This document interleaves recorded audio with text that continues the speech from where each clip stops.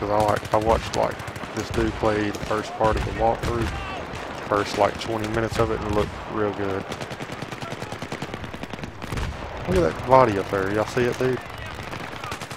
Look at him. He's doing a handstand. Yay! Oh, Okay, cool.